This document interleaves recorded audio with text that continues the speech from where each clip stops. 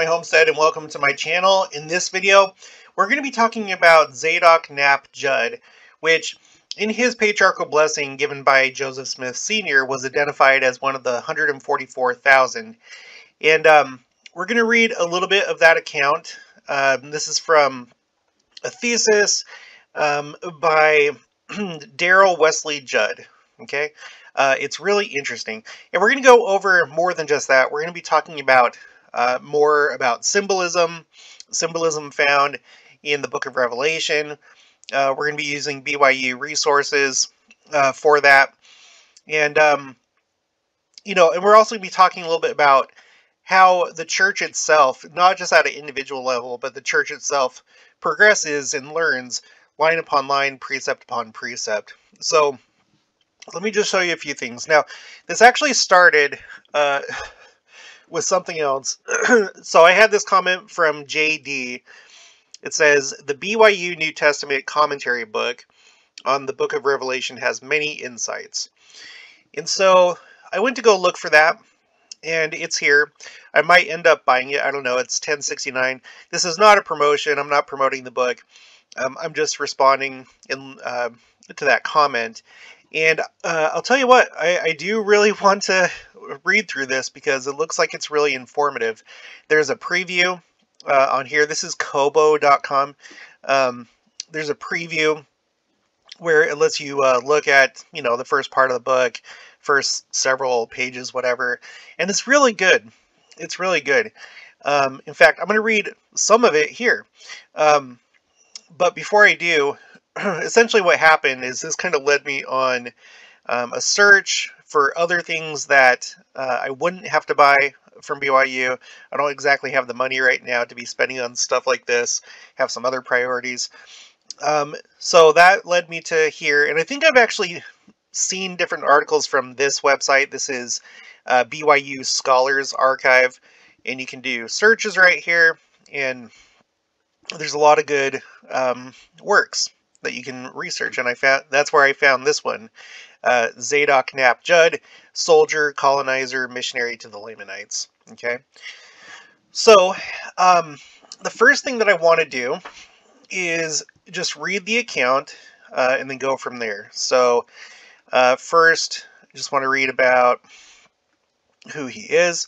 Uh, this thesis is a biography of Zadok Knapp Judd Sr., member of the famed Mormon Battalion, soldier in the Provo War, colonizer and missionary of southern Utah, and mechanic in the Cottonwood Mission. Or sorry, Cotton Mission. Uh, the overall purpose of this writing is to show the relationship of Zadok Knapp Judd to these important movements in the history of the Church of Jesus Christ of Latter-day Saints.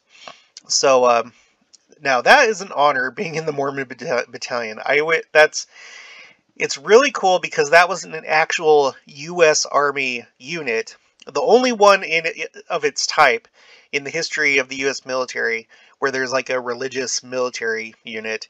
Um, but anyway, uh, I, I, actually, on my spreadsheet, I actually looked this up, Mormon Battalion, because I was wondering if somehow this inspired um, the concept of the Lord's Youth Battalion, if that's like where the imagery imagery was kind of drawn from when the when President Nelson introduced the concept of the Lord's Youth Battalion. But that'll be a video for another day. Uh, so let's go down to the part where it's talking about his patriarchal blessing. Um, I'm going to start from up here. Uh, difficult as it was for Zadok's mother to provide food for her family, she never forgot about their spiritual welfare. To help pr promote their religious growth, she took Zadok and the other boys to the patriarch, Joseph Smith Sr., and each received a blessing. Because of their poor financial condition, they did not pay for the blessing to be recorded, and the boys never received copies of them. It was important it was an important experience for them, however, and 12-year-old Zadok remembered the occasion and some of the promises throughout his life. He said, He told me my name was recorded in the Lamb's Book of Life, and angels had charge uh, to watch over me continually, and that I was one of the 144,000 that should stand as saviors upon Mount Zion in the latter days. Okay, so this is a very interesting account.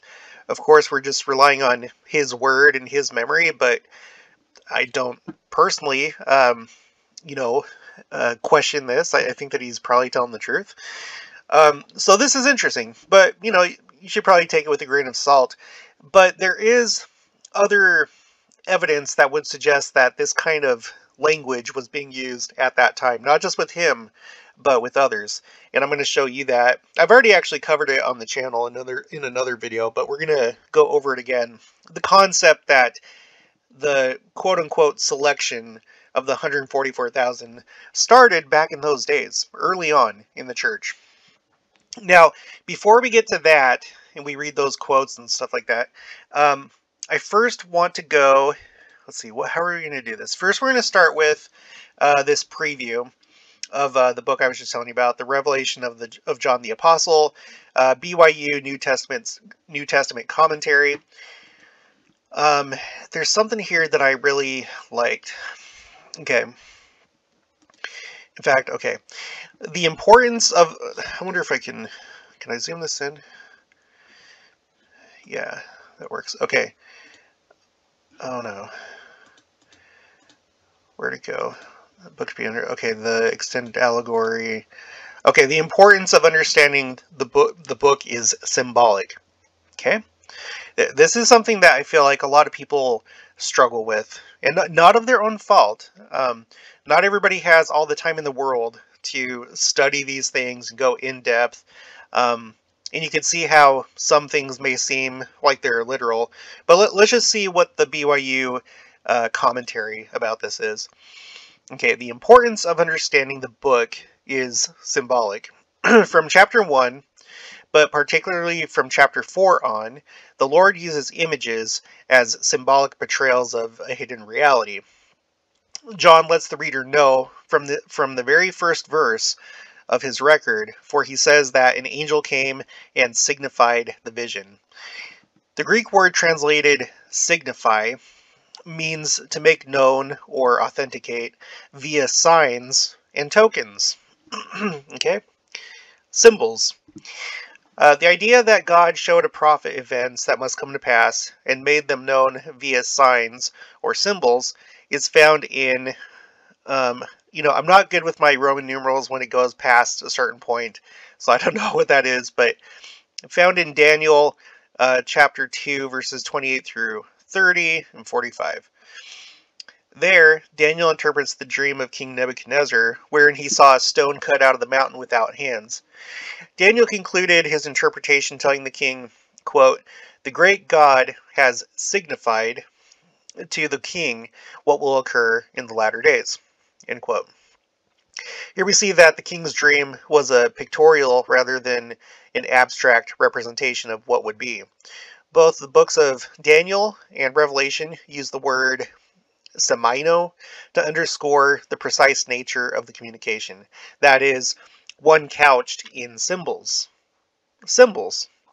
And, it, and it's interesting, I've, I've said this before, but Daniel, the book of Daniel and Revelation are essentially companions to each other. They, they go hand in hand.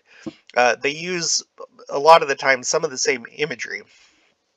Um, okay, so uh, thus, the word, uh, thus the, the use of the word emphasizes that the images are to be taken symbolically and then translated so as to reveal their historical reality.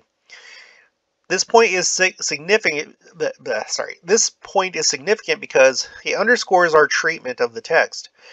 Quite a number of works on the book take the, the stance that since the text since the text clearly explains the meaning of some of the images, those it does not must be taken literally. Okay, so you get that? So some people take the notion, they start reading the book of Revelation, and they're like, oh, okay, the first part here is explaining the symbols, but then there's other things here um, where it's not explained, so those must be literal. Okay. many of those who many of those who take the visions literally see such depictions as those recorded in chapter 9 of a huge army of armored horsemen with their deadly steeds as descriptions of modern armies and weaponry. Though it is true that the last days will be filled with war, taking these, these images too literally misses the point. For discussion, see notes and comments at chapter 9. Therefore, taking any of these images literally, based on John's own wording, would be wrong. Uh, just the opposite is true. The whole work is couched in symbolism, and to get at the message, one must see beyond these symbols to the important realities that lie behind them. Therefore, throughout this work, wherever there is a lack of clarity, uh, if an image should be understood literally or symbolically, we have always sided with the symbolic use. That being the case, we can detect four levels in which the story communicates with the reader. Quote, the linguistic level, which is composed of the record of the text itself to be read and heard, a visual level, which consists of John's actual visionary experience, the referential level, which consists of the particular historical identification of the objects seen in the vision, and the symbolic level, which consists of what the symbols in the vision connote um, about their historical reference. Okay, so I'm going to leave it there. Okay, this is how this, in my opinion, is the right approach. Uh, whether it be beasts or uh, whether it be numbers or whether it be uh, just imagery that conjures up scenes from fantasy or sci-fi books, uh, that's wrong, in my opinion. And, it looks like that's the opinion of BYU as well, or whoever uh, wrote this book. Um, so I'm going to read some more. Uh, now this is going to the BYU. Wait, no, where was it? Okay, this is from um, rsc.byu.edu.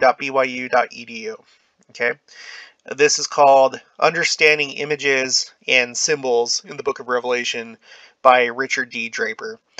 And I want to read this section right here the nature of apocal apocalyptic style.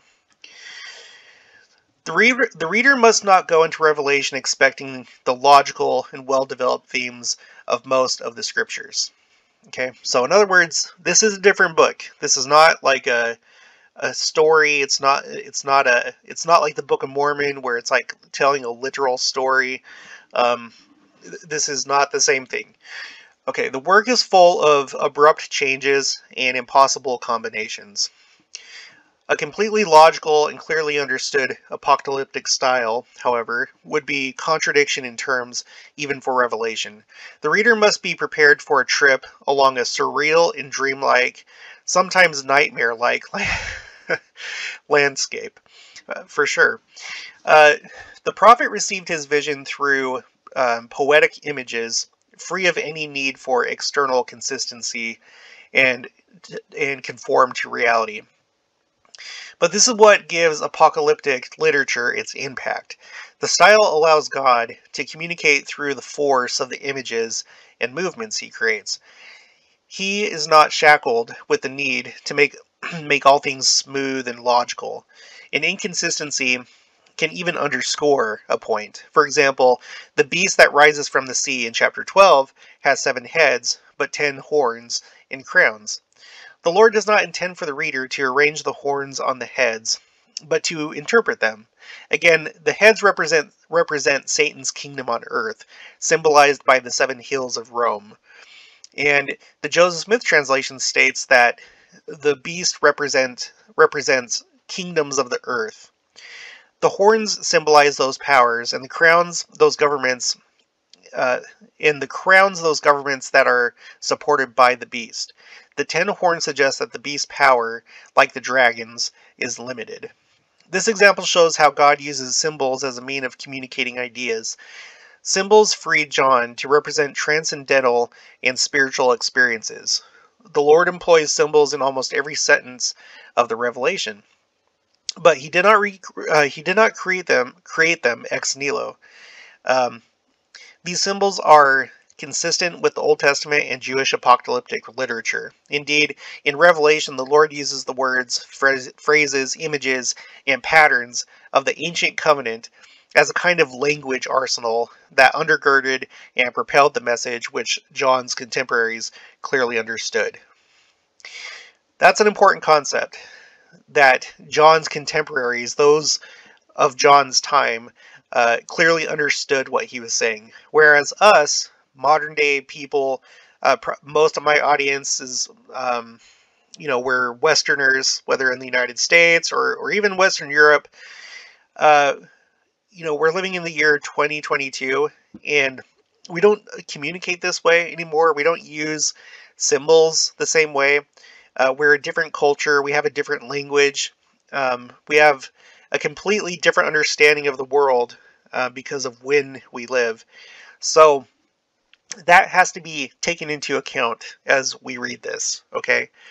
Um, not forgetting the fact that, oh, there's the daily siren. Sorry, everybody. Uh, every day at noon, that's when I'm recording this. Okay, let's continue. Important among the symbols used was the use of numbers. Numbers. Numbers. You guys, with Jews, numbers are everything. We we talked a little bit about um, Kabbalah, and before that there was Merkava mysticism. But even before that, uh, they've they've always been big into numbers, and rightly so, because uh, re- numbers represent things. Numbers themselves are symbols of things, right? And um, so we, we have to keep that in mind, okay? Even though you and me, uh, we don't use numbers really to communicate in the way that they did, well, that's how they did. They, they had, living in a religious community, right? Where everything is like homogenous, everyone's on the same page. It's a small world. It's not like a large world like it is now. Um, this made sense to them. This is how they communicated.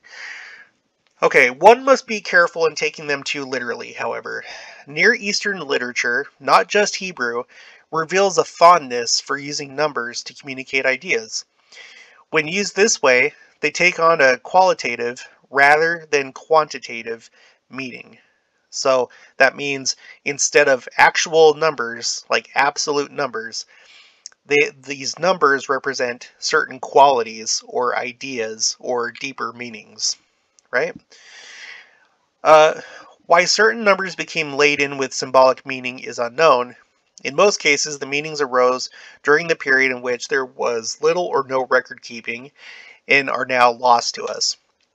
It is of interest that there is a general consistency across cultures to the meaning of certain numbers, which John does not violate. For example, the numbers 4, 7, 12, and 1000 denote aspects of wholeness or completeness. The first, the first to the world, the second to totality of fullness. Okay, so, okay, let me break this down. So four, because um, of the four corners of the world, or a square. Usually a square is a symbol for the world. It has four sides. Okay, seven, of course, that's when that that was the completion of um, of creation, right? Six days of work, seventh day of rest. That was the completion. Uh, Twelve, like he's saying here, the priesthood, and the last, or a thousand, to superlative greatness or perfection. So, a thousand, you can think of it like instead of like 10 because 10 we we did another video talking about the significance of 10 7 and 10 kind of have like the same uh, connotation or the same, um, they both kind of represent completeness and perfection. Uh, I did a video a little while ago, just, I don't know how long ago, but pretty recently, because like the number 17 has been coming up quite a bit. And I'm not going to go into all that here, but 17 is 7 plus 10. So if you're talking in a symbolic numerological language, it's like adding perfection to perfection, and you come up with a number that's comprised of two perfect numbers, uh, so to speak. You get, you get what I'm saying? So, anyway, um, okay. Da, da, da, Some numbers express an identical idea. For example, oh, here we go with the, the tribulation period, right? For example, 1,260 42, and 3.5 are all derived from the Jewish calendar and denote the number of days and months in three and a half year in one half years. Okay, so you have three and a half years, you can just say it plainly like that, or you could say 42 months, or you could say 1,260 days, right? And we did a video specifically about this, about three and a half. Uh, go watch that video. I'll, I'll have to put all these videos down in um, in the description because I think that these are very important concepts and th something that is lost on many people as they a lot of you guys. Within the last couple years there has been this idea introduced uh, into the membership of the church of a seven year tribulation period. Before that time it was basically unheard of. I, I had never heard of it before just a couple years ago um, there was a certain timeline that was proposed, uh, and it just took off, and now everybody is thinking like evangelicals and other Christian denominations that there's a seven and a half year per- period of tribulation.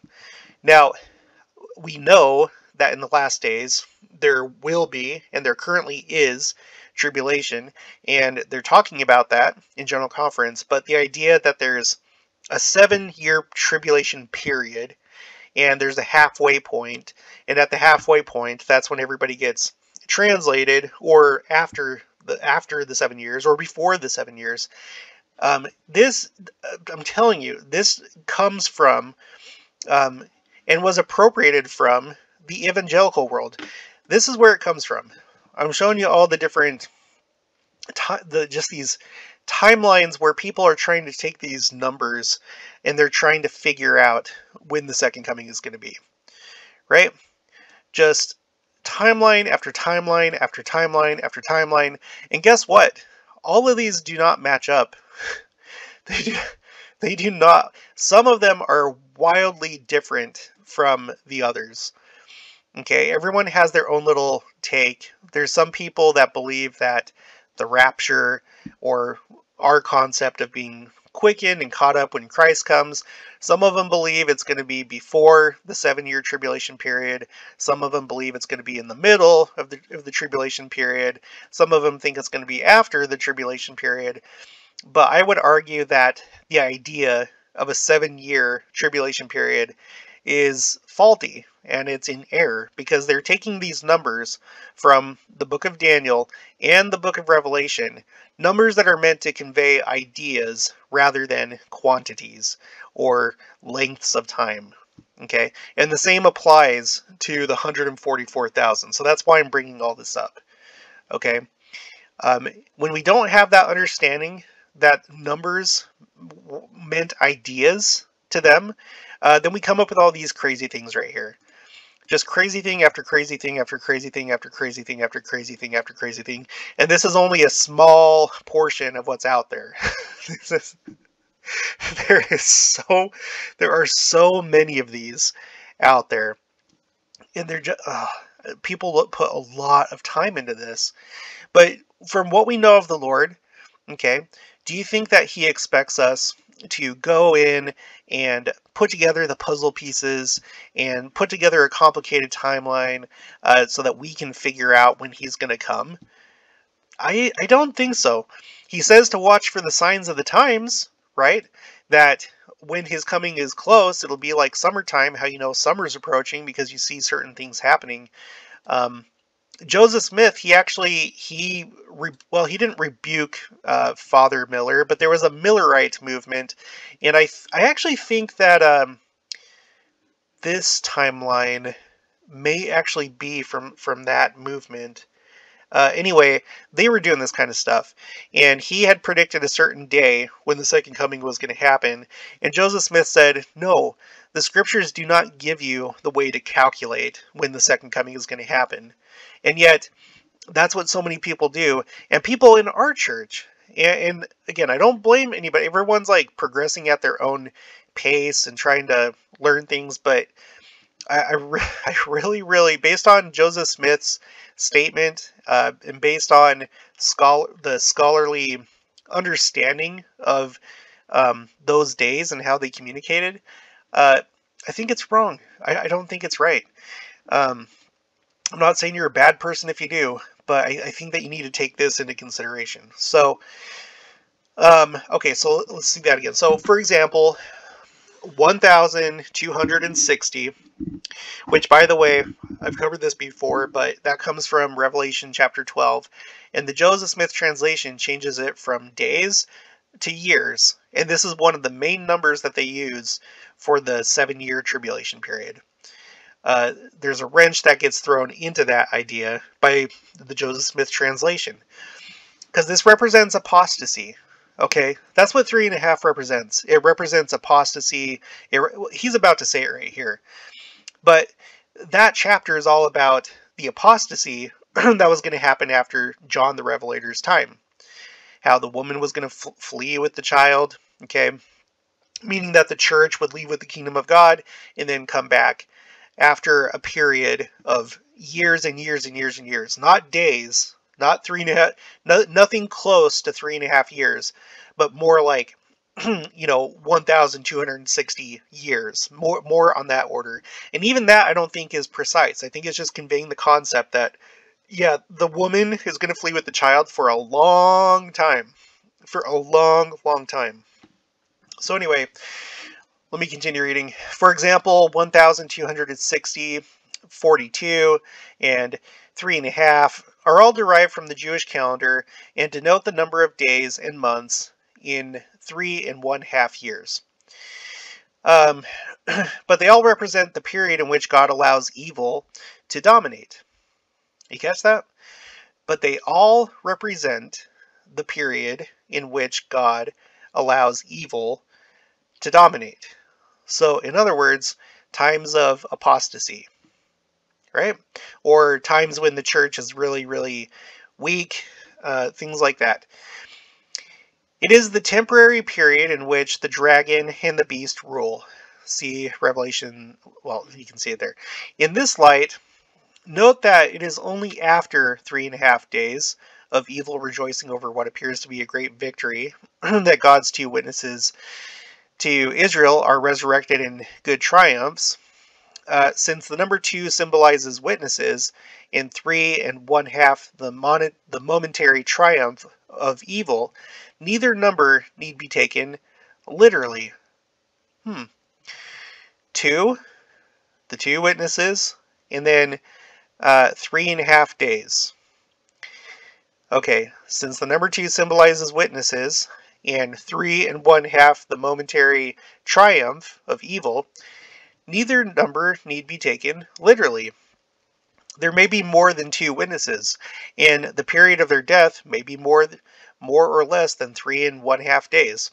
God's point is that there will be a point when evil seems to have won, but that dream will be shattered the moment these prophets arise. The number of those called to service in the last days, 1,444, or sorry, 1,400. Oh my gosh. 144,000 is instructive. As noted, they are high priests called as missionaries in the last days. The message, however, is not in the quantity, okay, 144,000, for again, the number need not be taken literally, but in the quality. 12 represents priesthood. Multiplying the number by itself adds wholeness as would multiplying it by 7. Thus, the number denotes the quality of priesthood held by those who are God's servants in the last days. For this reason, one need not worry that chapter 7 leaves out the tribe of Dan from the list. Okay, because that's the chapter where John is saying, okay, there's going to be 12,000 called from, um, you know, Naphtali, there's going to be 12,000 called from Asher, 12,000 called from Judah, but Dan is left out. Okay, and it says here, it's all symbolic. There will be many Danites in God's kingdom, but John may have left the tribe out because, according to popular Jewish myth, the Antichrist was also, or was to arise from that tribe, and John worked to put out any form of idolatry.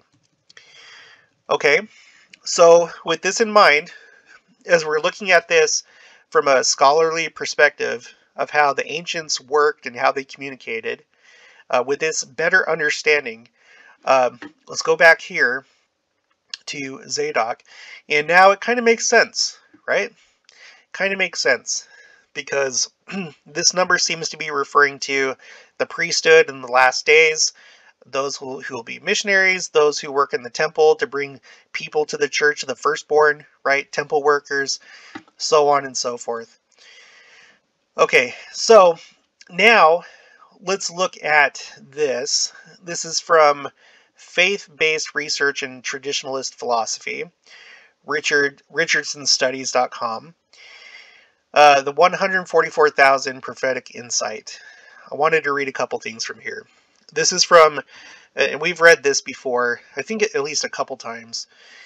Um, okay, this is from Orson Pratt, Journal of Discourses, 1825.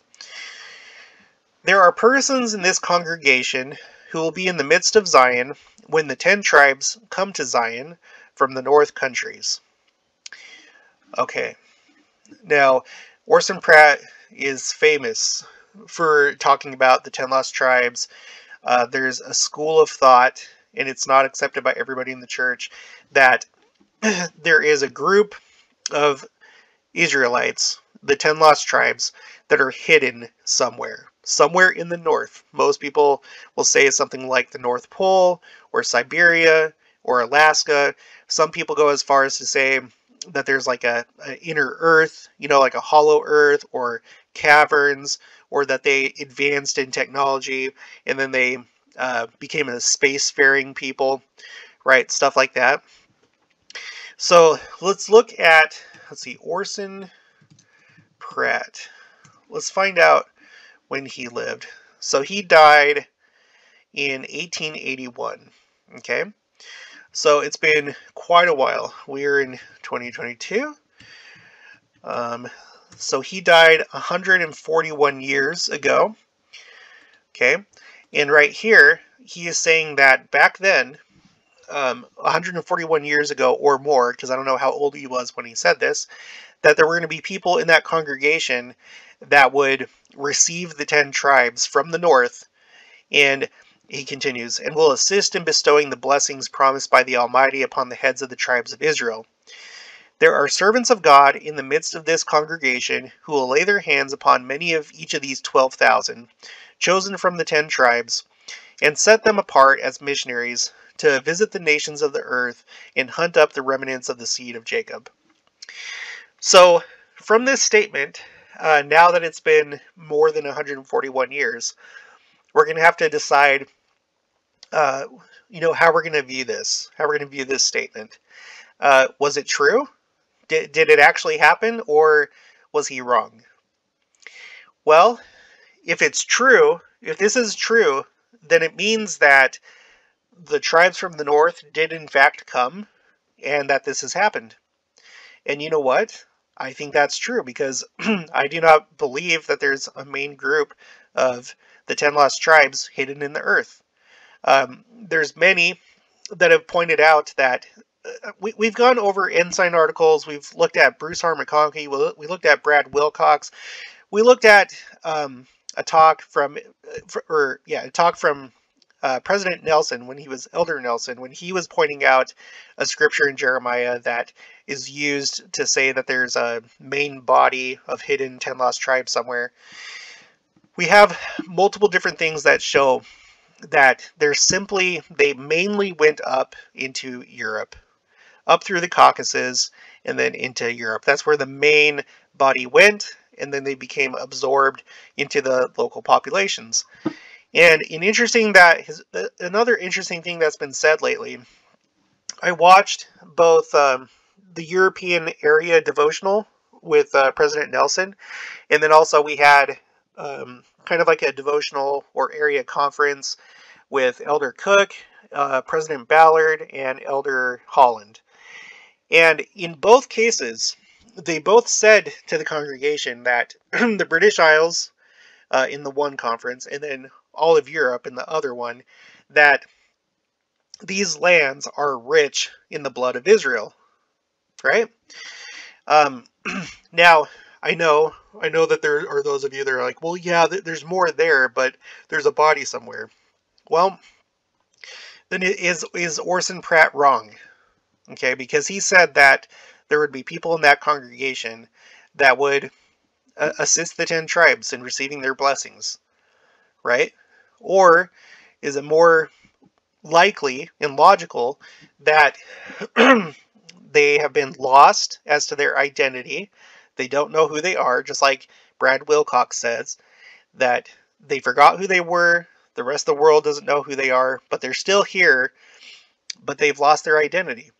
But they still have the blood of Israel, and um, they're began, being gathered in. Prime in in the early days of the church, especially, they mostly came from those north countries, from Europe, especially Britain, the UK. So, anyway, so either um, and again, now he now Orson Pratt, he's one that believed that there literally was a main body that was hidden somewhere. He has other quotes where he speculates on um, certain lands in the north. Uh, and, and I'll do that in another video sometime. Anyway, moving down here, it says, The prophet also said shortly before his death, uh, talking about Joseph Smith, I attended prayer meeting with the quorum in the assembly room and made some remarks respecting the 144,000 mentioned by John the Revelator, showing that the selection of persons to form that number had already commenced. Had already commenced. Now, why are we talking about the 10 lost tribes and this at the same time?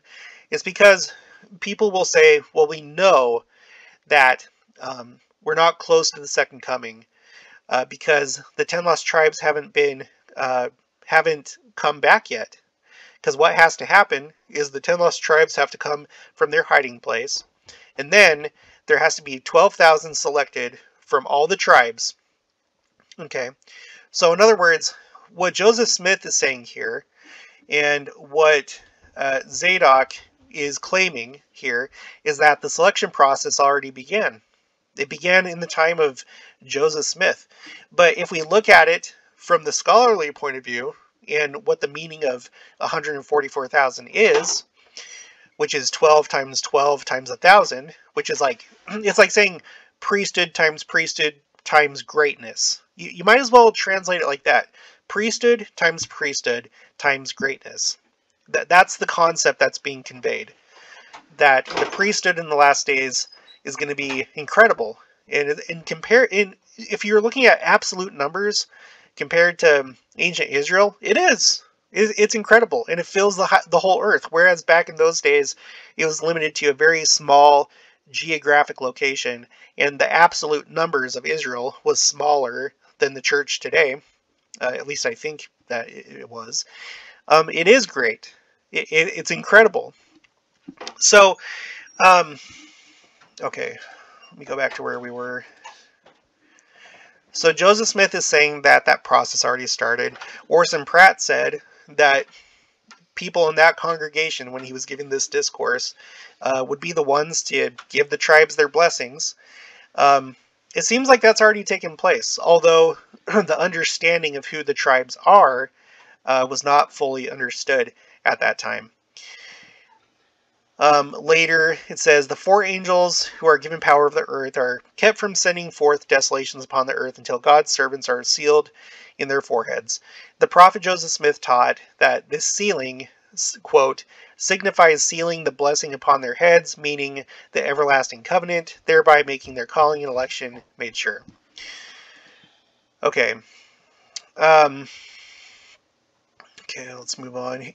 Here, here's one of my other videos. I'll put this in, in the description below.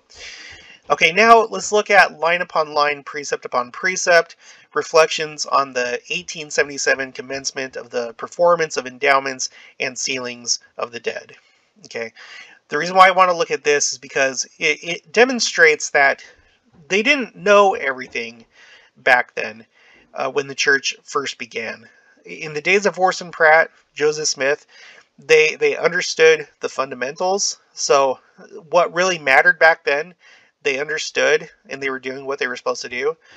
But the more kind of fringe topics or topics that are not so pertinent to then, um, they may not have had a full understanding of that. So that's why I think Orson Pratt did believe that there were a literal there was a literal main group of the 10 lost tribes somewhere. So let's just read a little bit about this. This is talking about um, the salvation of the dead, bapti- baptisms for the dead, and I think that this will be a little this this will be enlightening. Okay, so in other words, if this fundamental doctrine of doing baptisms for the dead and endowments wasn't clear in the beginning, then I'm pretty sure that the idea of the ten lost tribes wasn't very clear either.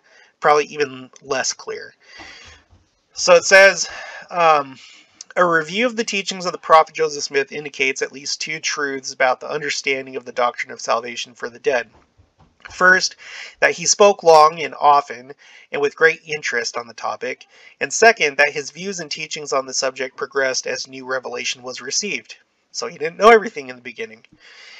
Uh, in the in the angel Moroni's initial visit to the young prophet Joseph in September 1823, he referred to the coming the coming of Elijah, who would quote, plant in the hearts of the children the promises made to the, the fathers, and the hearts of the children shall turn to their fathers. Um, during the ensuing annual interviews uh, with his with his apprenticed prophet from 1824 to 1828, Moroni further gave Joseph Smith instruction and intelligence on what the Lord was going to do and how and in what manner his kingdom was to be conducted in the last days. In his Articles and Covenants of the Church, uh, presented at the organization of the church in April 1830, Joseph Smith indicated that the first principles and ordinances of the gospel, faith, repentance, baptism by immersion, and the gift of the Holy Ghost, were necessary and available not only to those in this era, but also for, quote, all those from the beginning, even as many as were before before he, Christ, came as well as those who who came after. Precisely when the revelation came to the prophet Joseph, defining the command the commanding baptism for the dead, uh, it is not on record, but he first publicly taught the practice on August 15th, 1840. So the church was organized in 1830, and we know that the first vision was in 1820. So we don't have our first mention of doing baptisms for the dead all the way until 1840, 10 years after the church was established. So, basing much of his discourse on the 15th chapter of Corinthians. One month later, on September 13th or the 14th, 1840, uh, or from those two days, the 13th and the 14th, 1840, as his father lay dying in Nauvoo, Joseph assured him that it was now possible for the saints to be baptized for the dead. Hearing this, his father asked Joseph to be baptized for Alvin immediately. On January 19, 1841, the Lord instructed Joseph Smith further on the importance of building the temple. From this revelation, he learned that the ordinance of baptism for the dead had been quote, instituted from before the foundation of the world, end quote. Later he taught that baptism for the dead was, quote, the only way that men can appear as saviors on Mount Zion, end quote. That sounds like uh, 144,000 talk. Okay, now let's go here. This was said more recently. This is from General Conference, uh, President Nelson's talk called The Temple in Your Spiritual Foundation. And this was uh, the October 2021 conference.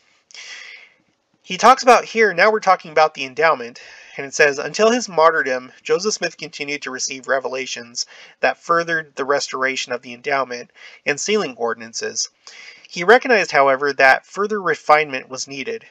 After administering the endowment to Brigham Young in May 1842, Joseph told Brigham, quote, This is not arranged right but we have done the best we could under the circumstances in which we are placed, and I wish you to take this matter in hand and organize and systematize all these ceremonies. So even the endowment itself, in the very beginning, uh, wasn't in its right form, or it wasn't in the right uh, organized whatever. It wasn't systematized. It, it was rough at the beginning. Okay? So all I'm trying to say is that they didn't know. you know, back then, uh, it probably seemed really clear to them that there was going to be 10 lost tribes that come from some unknown place. But that has changed. And, and you can see that, you can see that change, how the early general authorities, some of them, and it wasn't really talked about too much, but some of them would talk about it, but then that changes within the last like century. Now they're not talking about that anymore, and they're actually saying the opposite. They're saying that no, the 10, they went primarily to the north, the rest were scattered. But the main body went to the north and then became assimilated into the peoples of Europe primarily. Okay, now um, on the scripture citation index in regards to the 144,000, I just wanted to read something here. Uh, let's see. So first we have President Nelson. So what I did is I I went to D&C 7711, which is the section that that is the question and answer session about um, about the Book of Revelation. And verse 11 is the one that talks about the 144,000. And so on the scripture citation index, you can see uh, who has cited these verses in their talks. So we have President Nelson, uh, at the time Elder Nelson, in uh, 2012, April conference, and he cites that verse about the 144,000, and this is how he uses it. We know that prophets of many dispensations, such as Adam, Noah, Moses, and Abraham, all taught of the divinity of our Heavenly Father and of Jesus Christ. Our present dispensation was introduced by Heavenly Father and Jesus Christ when they appeared to the prophet Joseph Smith in 1820. The church was organized in 1830. Now, 182 years later, we remain under covenant to take the gospel to every nation, kindred, tongue, and people. And then he he cites a bunch of different scriptures, including the one about the 144,000. As we do so, both givers and receivers will be blessed.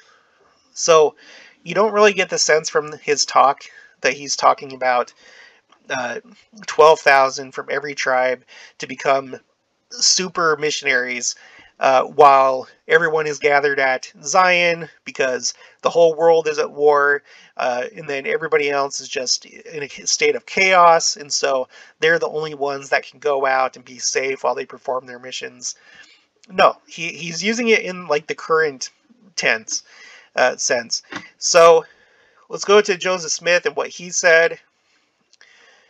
Okay, salvation for the dead. Wait, no. What footnote was that? 27. Yeah, okay. Salvation for the dead. There are mansions for those who obey a celestial law, and there are other mansions for those who come short of the law, every man in his own order. There is baptism for those who exercise sorry, there is baptism for those to exercise who are alive, and baptism for the dead who die without the knowledge of God. I am going on in my progress for eternal life. It is not only necessary that you should baptize for your dead, but you also have to go through all the ordinances for them, the same as you have gone through to save yourselves. There will be 144,000 saviors on Mount Zion, and with them an innumerable host that no man can number. Oh, I beseech you to go forward, go forward and make your calling and your election sure. And if any man preach any other gospel than that, which I have preached, he shall be cursed. And some of you who now hear um, me shall see it, and know that I testify the truth concerning them. So he's talking about it in the sense of uh, doing temple work. just plain and simple, just doing temple work. Doing the work for the dead, and then by, by doing that, becoming saviors on Mount Zion. So you can see from the scholarly research that ancient, uh, not even just uh, you know Israelites, Hebrews, but just the entire ancient Near East used numbers to communicate abstract ideas or concepts, right? Um, they weren't necessarily using the numbers as um, specific values, quantitative values. And that appears to be the case with the 144,000. It also appears to be the case with the dimensions of New Jerusalem because there's some people that think that uh, New Jerusalem, okay, let's see, New Jerusalem, Earth. There's some people that think that New Jerusalem is literally going to be um, a continent sized cube that's going to land on the Earth because they don't understand symbolism. They don't understand that John is not talking about the absolute quantitative dimensions of the city, he's talking about its greatness and the priesthood that would be there, right? Here's just different pictures of of how how big it would be. So it would cover up half of the United States. Um, it, it's just you guys. Let, let's let's use our let's use some common sense. Um, it's not going to be a gigantic cube. All right. Um, John is, is talking using numbers uh, to convey ideas via symbolism. So uh, that's all that I have for this one. Um, I would advise you don't fall into this.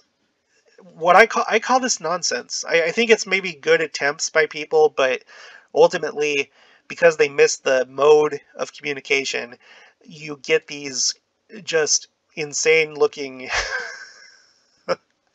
timelines that uh, I don't think the Lord intended for us to be like, okay, now, if you're wise, uh, you will be able to decode what I have put in the scriptures, and you will know the time of my coming. No. no. Okay, so that's it for this one. If you haven't already, please make sure to subscribe, like this video if you liked it, put your uh, thoughts and opinions down in the comments below. Also, make sure to share this with anyone that um, may be into this kind of thing, might be confused. Uh, not everybody's going to accept the message of this video, obviously. Some people are too, um, they spent maybe too long on these things and, and maybe there's uh, pride that is associated with it because they think that they have a, a really amazing um, idea of how things are going to play out. And so uh, this could hurt pride or you know whatever. But just just share it. Share it with anyone that you think it might help. And i'll talk to you guys later